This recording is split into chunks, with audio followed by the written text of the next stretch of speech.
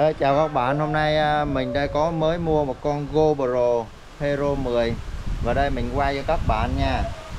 Coi cái à, khung cảnh ở đây. Nó như thế nào nha. Và cái chất lượng video của nó như thế nào. Hiện tại bây giờ mình đi bây giờ Để mình coi mấy giờ. 4 giờ nha mấy bạn. Hiện tại bây giờ 4 giờ. Mình sẽ đi ra cho bãi biển cho các bạn nha để các bạn xem thử xem nó như thế nào.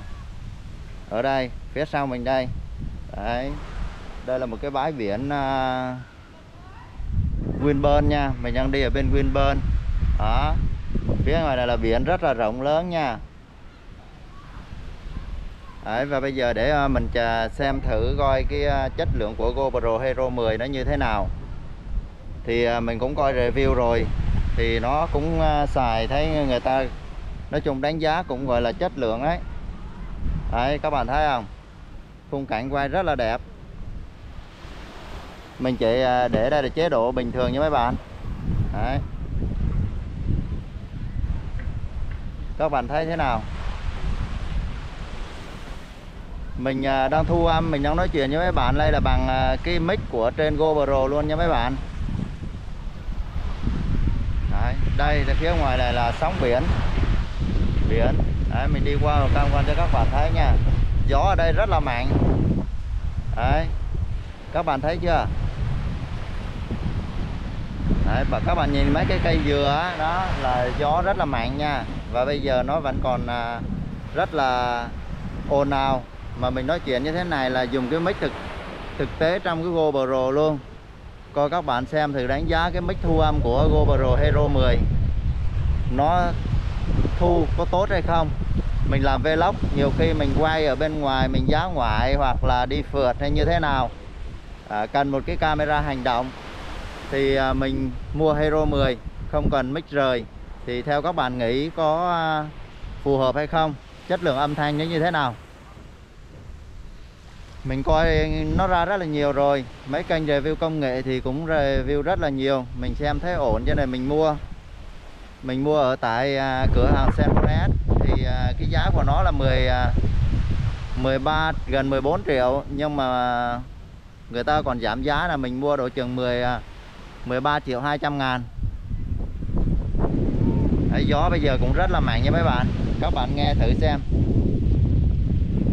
Và bây giờ mình thử chạy một đoạn thì các bạn chống rung nó như thế nào nha. Đấy hiện tại mình đang chạy chạy bộ đấy rất là lát, rất là mạnh các bạn nhìn thấy không? Đấy. mình chạy đủ kiểu.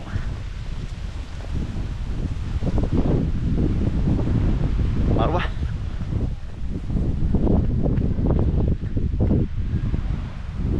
Đó cái ờ, test cái đố chế độ chống rung của nó nha mấy bạn.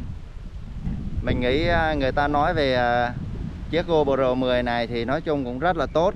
Chất lượng hình ảnh cũng không đến nỗi nào hôm nay mình à, tiện thể mình đi à, du lịch mấy ngày bên Winburn. Thì mình test thử cái camera Hero 10 này xem nó chất lượng như thế nào.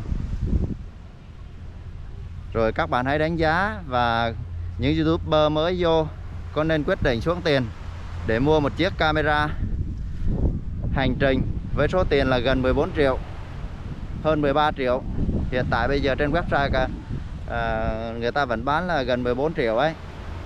Nhưng mình mua nó được giảm còn 13 triệu 200 thôi. Nếu các bạn à, đã quyết định mua thì à, cũng có thể mua. Nói chung à, mình nghĩ thì chiếc camera này nè cũng tốt Mình mua về mình xài. Quay thì không có nhiều đâu Mình chủ yếu à, mình xài. Có đi đâu thì mình à, làm camera hành trình cho bản thân thôi chứ thực ra mình quay thì à, mình quay à, bữa giờ những video mình nó toàn bằng à, dùng cái điện thoại này. Đấy, chứ còn bây giờ mình quay cái chất lượng hình ảnh như thế nào và thu âm như thế nào, chống rung thế nào. Rồi chia sẻ với các bạn nha. Rồi để mình lật lại cái camera mình đi đằng sau cho các bạn thấy.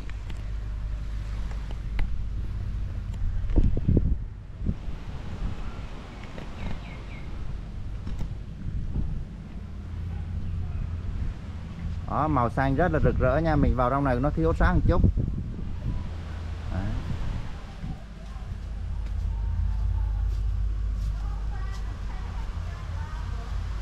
Đây là cái hồ bơi. Nước rất là xanh.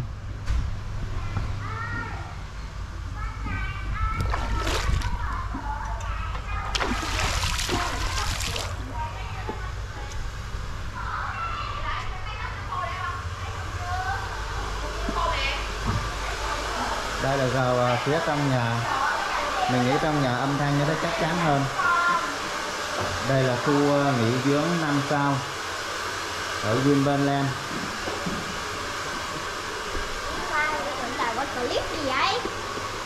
Hai các bạn đi. Tết Tết ơi chào các bạn coi Tụi tài có thỉa này chưa tụi tài? chưa hiện có Tụi tài muốn mở cửa tụi tài phải dùng cái thỉa này. Tại mình đóng cửa lại là nó tự khóa lại luôn á.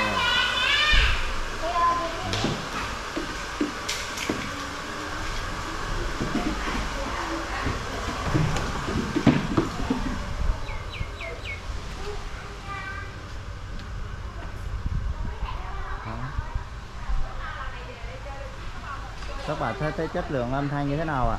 Tuyệt vời đúng không ạ? Trên này có một con sáo. Rồi, mình xin giới thiệu à, camera đến đây kết thúc nhé mấy bạn. Các bạn hãy cho mình à, comment và cảm nghĩ như thế nào khi xuống tiền mua chiếc Hero 10 này nhé. Và bây giờ hẹn gặp lại các bạn. Các bạn hãy hay nhớ thả tim và follow kênh của mình nha.